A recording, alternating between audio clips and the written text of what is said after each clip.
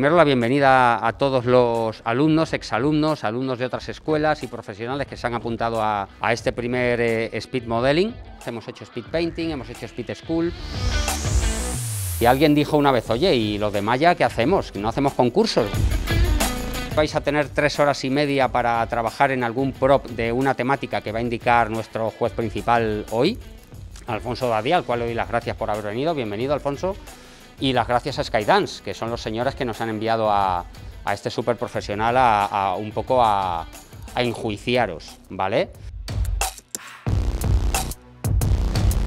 Os quiero presentar a los jueces. Alfonso Badía de Skydance, ¿vale? Que es la persona, es el juez principal. Tenemos a dos de nuestros superprofes de modelado 3D con Maya.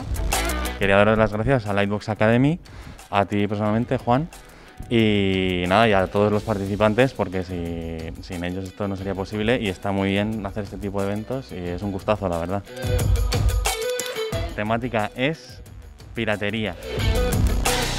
Es un auténtico placer el poder estar junto a Nvidia y Lightbox. Os queríamos indicar lo que es la, línea ProArt que tenemos específicamente para vuestras necesidades, tanto en refrigeración como los componentes, como la pantalla, la gráfica cuadro RTX que dispone el equipo, el UDL 700 como el que va a poder ganar uno en esta edición es súper importante que los futuros profesionales como vosotros eh, pues conozcáis las herramientas que, vais a tener que utilizar, ¿de acuerdo? Pues mirad, porque lo que ha hecho Nvidia es intentar traer a, vosotros los estudiantes, incluso a los, a los freelance, pues una serie de equipos y de características, ¿de acuerdo? Porque los equipos lo traen nuestros fabricantes, en este caso Asus, pero sobre todo las características y la tecnología es lo que Nvidia os trae. Nvidia está aquí para daros más opciones creativas y sobre todo para acelerar vuestros procesos.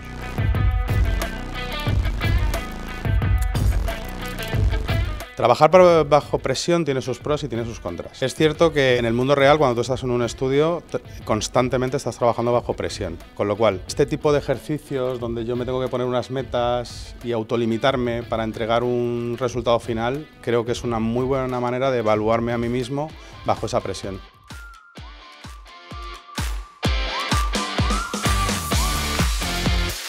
Yo recomiendo mucho participar en concursos, ya no solamente a profesionales, porque así nos obliga a estar siempre a la última, siempre competir y que nos despierte las ganas de seguir trabajando y coger un poco la ilusión esa que teníamos al principio, sino recomiendo especialmente a los que están empezando. Porque ganar un concurso parece mentira, pero en un currículum al final pesa.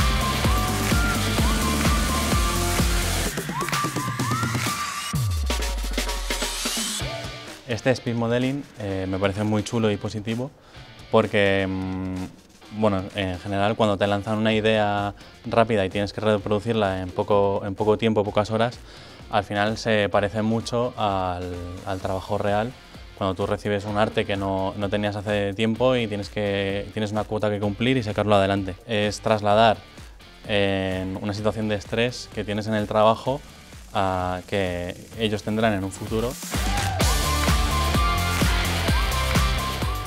¿Qué tiro de cámara te imaginas?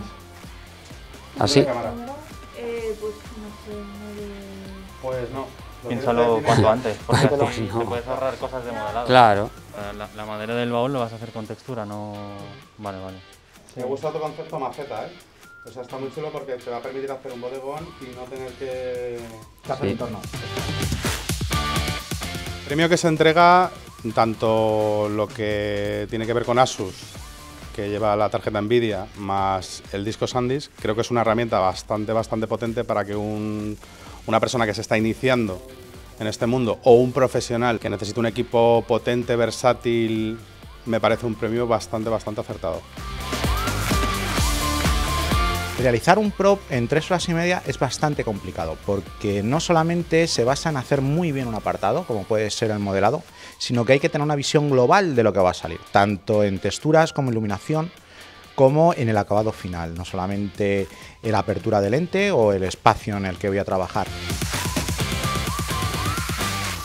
He elegido la temática piratas o piratería porque me parece que en general pueden escoger eh, objetos de diferentes tamaños en el que haya formas interesantes pero no, no del todo complejas. Van a tener materiales muy limitados que serían madera, metales o cristal. Cinco, cuatro,